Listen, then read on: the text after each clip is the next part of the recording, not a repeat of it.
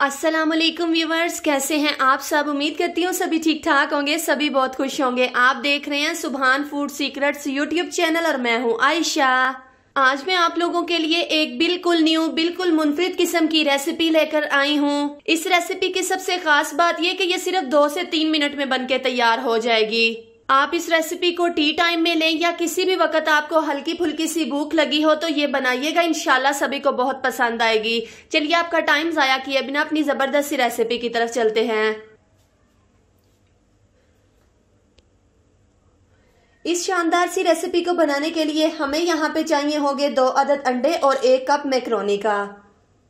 आप देख सकते हैं, ये मखसूस सी चीज़ें इजीली आप लोगों के किचन में ये मौजूद होंगी। हमें यहाँ पे सबसे पहले मैक्रोनी को उबालना होगा। एक कढ़ाई में हम ऐड करेंगे एक लीटर के करीब, ये हमारे पास पानी है।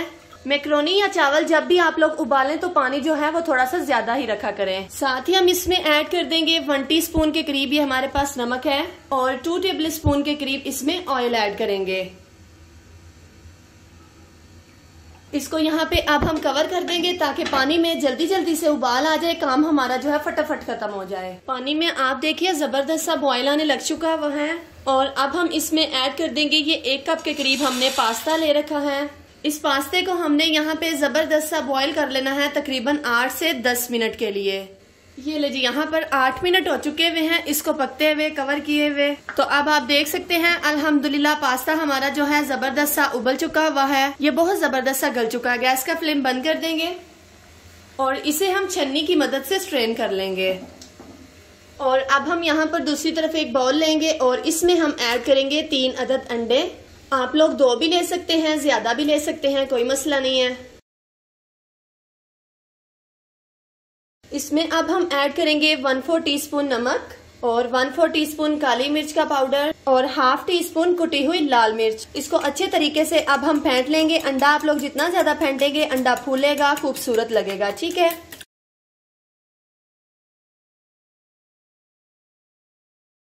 अच्छे से फेंट लेने के बाद साथ ही हम इसमें ये मैक्रोनी ऐड करेंगे, जिसको हमने बॉईल करके रखा हुआ था। और इसको अच्छे तरीके से हम मिक्स कर लेंगे। दूसरी तरफ़ यहाँ पर हम गैस पे रखेंगे एक अदद पैन। इसमें हम ऐड करेंगे तकरीबन टू टेबल स्पून के करीब कुकिंग ऑयल कुकिंग ऑयल जब अच्छे से गर्म हो जाए तो फिर हम इसमें ये मैक्रोनी का मिक्सचर ऐड कर देंगे। अच्छे से हम इसको फैला के रखेंगे। चारों साइड से आप लोगों ने इसको इक्वल कर लेना है। गैस का फ्लेम यहाँ पे मीडियम है। गैस का फ्लेम अब हम बिल्कुल लो कर देंगे, इसको हम कवर कर देंगे, कवर करके हम इसे लो फ्लेम पे रखेंगे तीन मिनट के लिए। मिलते हैं तीन मिनट के बाद और चलते हैं आगे के प्रोसेस में। ले जी, यहाँ पर तीन मिनट हो चुके हुए हैं, इसको एक साइड से कवर किए हुए। तो ये अल्हम्दुलिल्लाह नीचे से डन हो चुका हुआ है साइडों को हम रिमूव करेंगे। बहुत एहतियात के साथ हमने इसकी साइड को चेंज करना है। मैं आपको बताती हूँ कि आप इसकी साइड को चेंज कैसे करेंगे। ये देखें, आप लोग इसके ऊपर रखेंगे प्लेट और पैन को उल्टा देंगे। ये देखिए, अल्हम्दुलिल्लाह, बहुत ज़बरदस्त सा नीचे से कलर आ चुका हुआ है। और अब जो इसके ऊपर वाली साइड थी, उसको भी हमने थोड़ा सा कुक करना है। बहुत एहतियात से फिर से हम इसमें ऐड कर देंगे। इतने में नीचे वाली साइड कुक होती है, इसके ऊपर अब हम ऐड कर देंगे मोजरेला चीज़। दिल खोल के आपने इसमें ऐड करनी है। ये माशाल्लाह बहुत चीज़ी बन के तैयार होगा। मोजरेला चीज़ को ऐड करने के बाद फिर से हम कवर कर देंगे ताकि चीज़ ज़बरदस्ती मेल्ट हो जाए।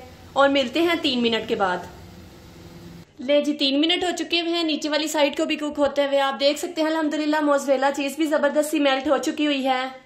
और इसमें मैंने खूबसूरती के लिए ये ब्लैक ऑलिव ऐड कर दिए हुए थे, माशाल्लाह, ये बहुत खूबसूरत लग रहे हैं और टेस्ट में भी ये बहुत कमाल के लगेंगे। और अब हम फाइनल लुक की तरफ़ चलते हैं। आप लोगों को डिश आउट करके दिखाते हैं कि ये कितना चीजी कितना ज़बरदस्त सा बन के तैयार हुआ। फाइनल लुक को मिस मत करिएगा। तो अल्हम्दुलिल्लाह, आप देख सकते हैं मिक्रोनी पिज्जा, आप इसको कह लें मिक्रोनी ऑमलेट कह लें, जो आपका दिल करे, आप इसका नाम रख लें। बन के हो चुका हुआ है तैयार। आप लोगों को अगर हल्की फुल्की सी भूख लगी और आपके पास टाइम ना हो कुछ भी बनाने के लिए तो आप लोग इस रेसिपी को ज़रूर ट्राई करिएगा। अगर आप लोगों को वीडियो अच्छी लगी है तो इस वीडियो को लाइक करिएगा। मेरे चैनल सुबहान फ़ूड सीक्रेट पे नए आए हैं तो सब्सक्राइब ज़रूर करके जाइएगा। आप लोग अपना प्यार बहुत कम दिखा रहे हैं सब्सक्राइब बहुत कम कर रहे हैं तो काइंडली आज मैं आपसे रिक्वेस्ट करूँगी कि सब्सक्राइब ज़रूर करके जाइएगा। तो मैं आप लोगों को अपनी नेक्स्ट वीडियो में मिलती हूँ। आपने अपना ढेर सारा ख्याल रखना है, दुआओं में मुझे याद रखना है। अल्लाह हाफिज।